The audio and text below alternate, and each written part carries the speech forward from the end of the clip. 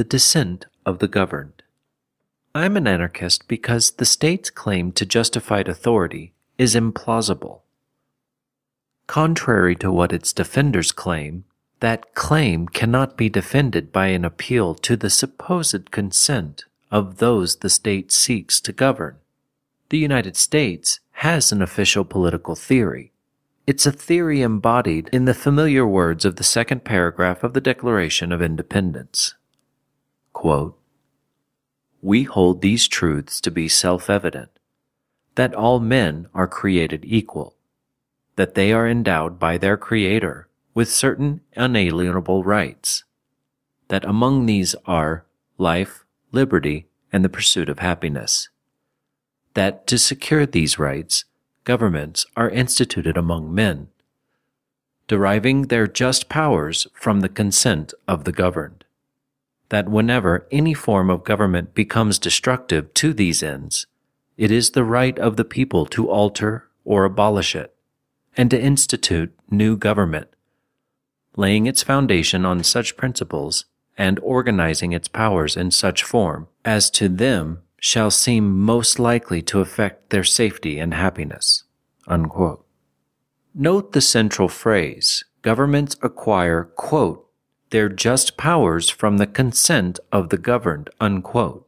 I think it points to the view of state power many Americans would accept automatically, and there's something very plausible about it. After all, the people who formulate and implement the government's decisions are just that people. If, as the Declaration also insists, all people are equal in moral worth and moral rights, then no one, no emperor or king or prince or pope or lama or imam, but also no president or senator or governor has a natural right to rule. Because no one has a natural right to rule, any claim to rulership is inherently suspect. So the basic moral equality of persons to which the Declaration testifies creates a presumption of anarchy if people are morally equal, it's up to the person who maintains that someone has authority over others to show why. Where is this authority supposed to have come from? What's supposed to ground it? Consent and authority. The Declaration has an answer to this question. A governmental authority might have the right to rule over me if I gave it that right. No one is naturally a ruler, but, suggests the Declaration, someone could acquire the authority of a ruler if the people she or he is supposed to rule consent. But it would be hard to point to any existing state whose authority rests on the actual consent of the governed.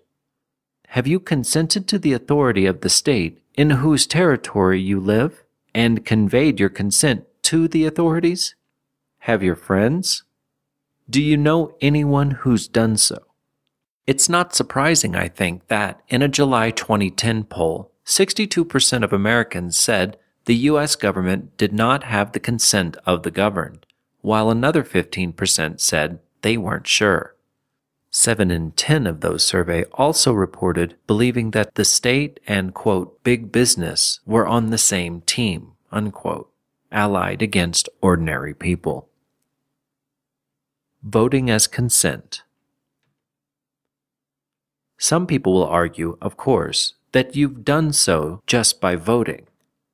But have you really placed your stamp of approval on the state just because you opt to vote in its elections? It's not obvious that you have. Suppose you live in a small town that's invaded by a group of bandits. The bandits, we may suppose, are an active lot. They won't all live in your town. Instead, they want to collect tribute from many neighboring communities. But they intend to occupy your village in order to keep everyone in line to make clear their benevolence and to help co opt you and your fellow townspeople into supporting their rule, they announce that you'll have a choice between two of the bandit chief's lieutenants, Jean and Chris. One will rule your village, but you'll get to pick the one who does. Chris is given to violent rages, while Jean tends to be calmer and more agreeable. So you and most of your fellow villagers express your support for Jean. Is there any reason to think that, by picking Jean, you've endorsed the bandits' occupation of your village? Given a forced choice, you've selected the option more likely to benefit the village, but surely doing this isn't the same as supporting the presence of the bandits. Surely the same is true when you decide whether to vote in a national, state, or local election. Your choosing to vote provides good, if not overwhelming evidence, that you prefer the candidate for whom you voted to the others but it provides no particularly good reason to think that you want to be ruled by one of the candidates, or indeed that you want to be ruled by anyone at all. Immobility as consent. According to another statist argument, simply remaining within a state's territory somehow constitutes consent to its authority. But there's no obvious reason why this should be so. Certainly, remaining in the territory claimed by a given state isn't most naturally read as signaling support for the state's authority. Perhaps I remain there because opportunities for work are plentiful, or because my friends are there, or because I like the style of architecture. And perhaps I don't because gangs of thugs seem to be in charge everywhere else. It's not obvious that staying put would convey to a reasonable observer the message that I likely consented to the state's authority. What is it exactly about my remaining that is supposed to convey the message that I accept the authority of the state? Well, perhaps the state posts signs throughout its territory reading something like this quote, Whoever remains for more than 24 hours within the territory shown on this sign and marked out by various similar signposts thereby signals consent to the authority of the sovereign kingdom of Bozarkia. Unquote. If so, so what? There are lots of reasons, as I've suggested, why people might stay just where they were other than their consent to Bozarkia's authority. Staying put doesn't signal consent. Bozarkia has to claim that it constitutes consent. The rulers of Bozarkia could reasonably claim that it constituted consent to their authority only if they already had legitimate authority over the territory in which the signs were posted. If they did, then under at least some circumstances perhaps they could legitimately insist that people leave.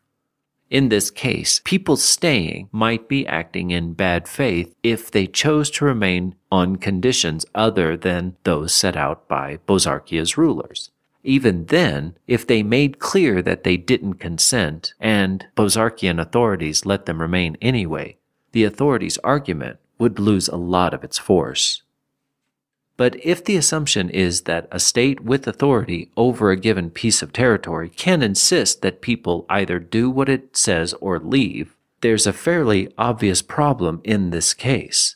What Bozarkia is supposed to be trying to do in this example is to establish its authority, a procedure for establishing the state's authority that assumes that the state already has authority doesn't really demonstrate much of anything the would be rulers of Bozarkia might have the right to demand obedience from people already obligated to accept their authority.